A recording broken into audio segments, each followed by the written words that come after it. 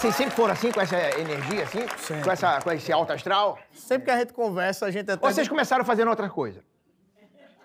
Outra, não, outra profissão. Outra Ah, profissão. tá. Não, antes de fazer o que vocês fazem hoje, vocês faziam alguma coisa diferente do que vocês fazem hoje? Já, Já. fazia. Eu, eu fui técnico de refrigeração. É mesmo? Trabalhei com refrigeração, com.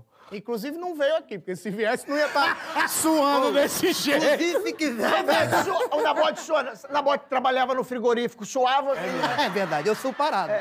Eu era, eu era advogado. Eu era advogado. de Você é um advogado? Advogado. Não deu muito certo. É, a gente tá percebendo.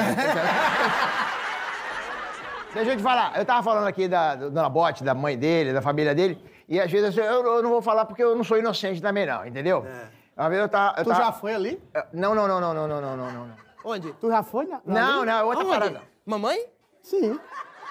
Você não ficou sabendo? Não.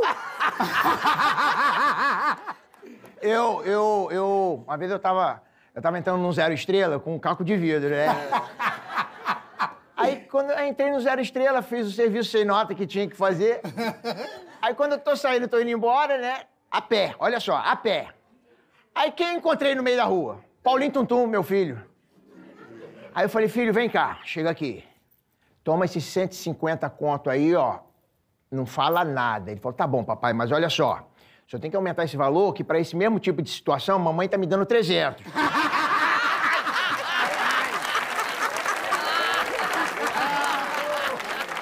Antes de vocês ficarem famosos, o que, que vocês mais sentem falta, assim, da, do, do, do- Como é que fala? Quando a pessoa é anônima?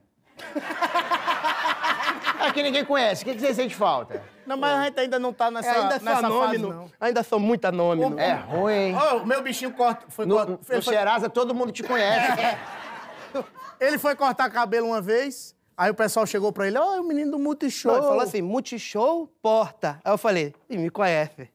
É. Aí cortou meu cabelo e falou, não, isso aqui vai ser de graça pra você. Eu falei, poxa, Velho, tem certeza? Cara, não, assiste seu programa, você é engraçadíssimo e tal. Cortou metade do meu cabelo. Na metade ele falou, aí chegou uma moça. Aí ele fez assim, aí, tá reconhecendo a moça?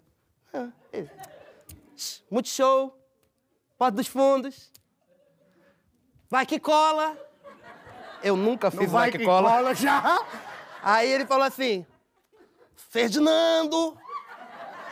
O cara pensou que eu fosse o Marcos Magela. Aí você falou, amor! É, amor, Ele Vinhado. terminou de cortar meu cabelo, eu agradeci, eu falei, finhando, obrigado. Ô, é por isso que eu raspei o cabelo. Porque agora eu ando Marco Magelo e Paulo Gustavo. Gente, que merda! Vamos raspar o cabelo, gente. Marcelina, pelo amor de Deus!